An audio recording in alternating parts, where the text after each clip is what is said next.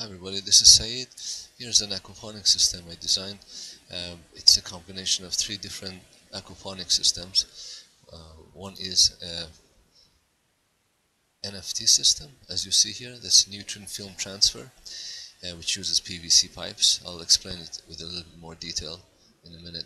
And the second system it incorporates is a grow bed system, which uses gravel as a grow bed and uses a bathtub.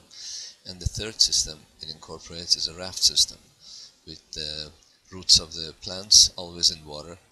Uh, so basically what you need for this is two two pumps. One is an air pump and one, one is a submersible water pump, uh, which uh, pumps the nutrient-rich uh, water from the, from the aquarium or your uh, pond up to the swirl filter. Now for a system like this, you would definitely need a swirl filter to uh, clear out the nutrient uh, rich uh, water from all the uh, organic material. Uh, swirl filters are very easy to make. It's basically one barrel. This one uses two barrels. It's a little bit more effective, but you can do it with just one barrel.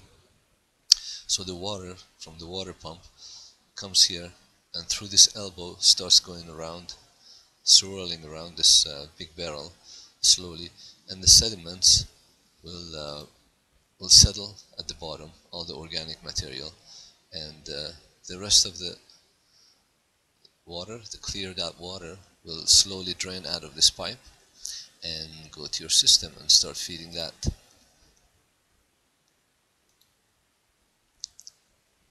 So as you see the water would come down here and uh, feed the roots of all these plants, go down here and go down here and then it will drain into this to the next system. Now there can be a slight angle on these uh, pipes. Uh, I recommend uh, about two or three uh, degrees angle.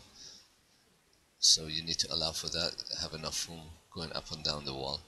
So the the water would come down here and uh, fill up this grow bed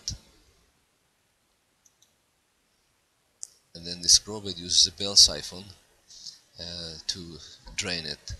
Uh, if, if you like to see how a bell siphon works, please check out the link at the end of this video. Uh, I will explain how, how it works and how it's made. So after the water reaches the, the drain point, it drains all and uh, goes into the raft system. Now the raft system is always full of water. It's not like like the grow bed system. Grow bed system it fills up and it drains completely. Fills up and drains completely. The cycle continues. But the raft system is uh, the roots are always in water, and the, for that you need to have a air pump because you need to pump oxygen into the water all the time. Otherwise, you're going to get root rot. And then the water from there it drains back into the pool and the cycle continues.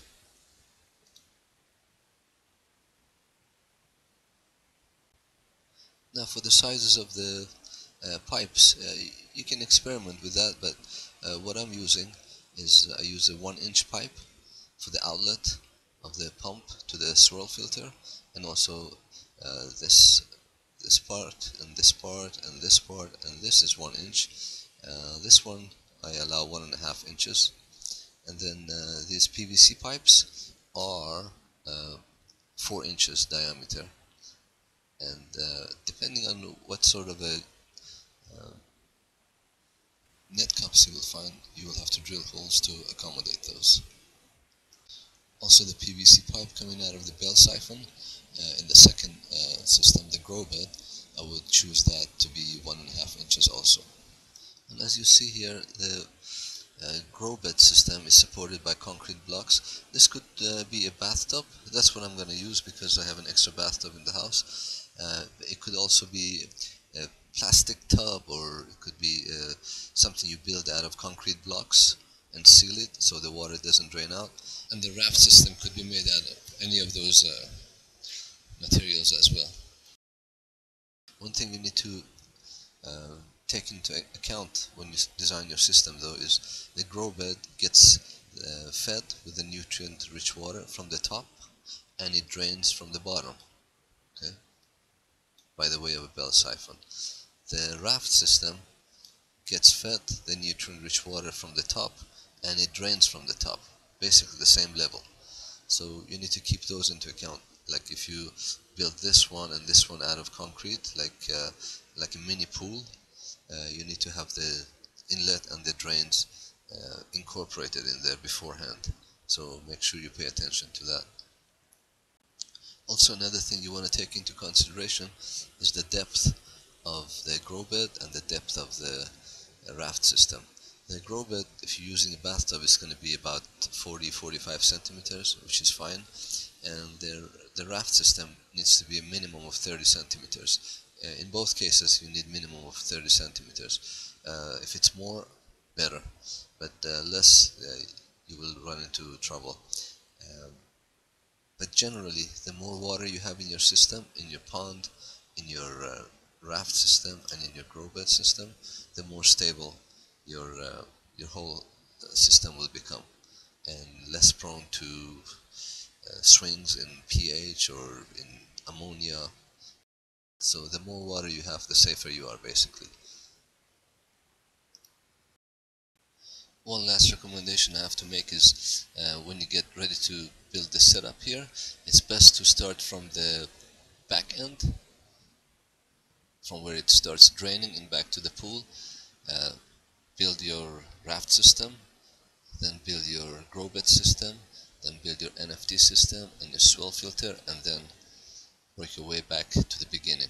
The reason for that is uh, for example if you your drain here uh, you might want to have it a little bit higher so as it uh, goes uh, back into the pond it will splash and aerate the water. So that would raise this bed the the raft system that would raise it a little bit if you raise this you have to raise this and raise this and raise that so it's just best to start from this end and work your way back to the beginning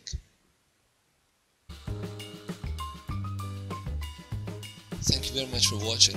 Now if you want to see a step-by-step -step video on how to make a grow bed aquaponic system, um, I will put a link for you here. And uh, this video is a little bit long, it's about 17 minutes, but it explains pretty much everything you need to know to get started. It includes uh, doing the bell siphons, adjusting them for back pressure, and uh, everything else you need to know to get started.